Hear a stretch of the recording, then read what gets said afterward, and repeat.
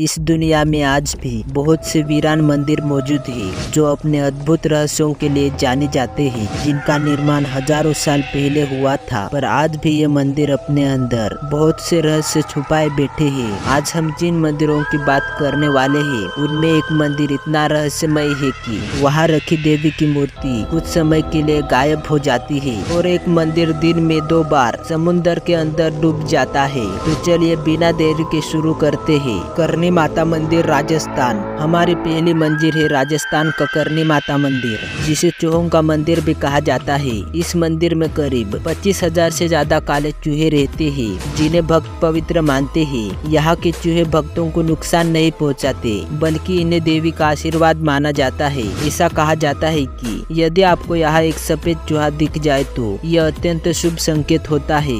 कामाख्य देवी मंदिर, आसाम।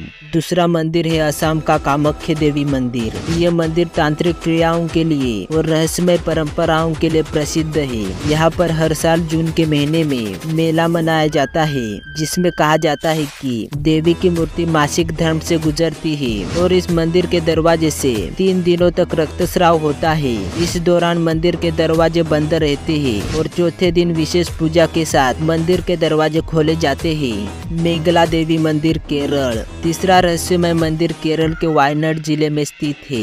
यह मंदिर साल में केवल एक बार ही खुलता है। इस दिन यहाँ विशेष पूजा अर्चना होती है और श्रद्धालु बहुत बड़ी संख्या में यहाँ उपस्थित होते हैं। यहाँ की रहस्यमय बात यह है कि इस मंदिर में रखी देवी की मूर्ति कुछ समय के लिए अदृश्य हो जाती है और पूजा के बाद पुनः प्रकट हो जाती है। स्तंभेश्वर महादेव मंदिर गुजरात, चौथा रहस्यमय मंदिर गुजरात में स्थित है।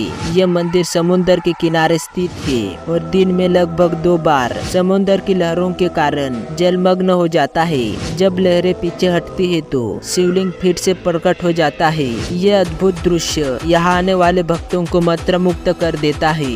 कैलाश मंदिर एरोला महाराष्ट्र, पांचवा और आखिरी रहस्यमय मंदिर है। महाराष्ट्र के एलोरा में स्थित कैलाश मंदिर। यह मंदिर एक चट्टान को काटकर बनाया गया है और इसका निर्माण कैसे किया गया है? यह आज तक रहस्य बना हुआ है।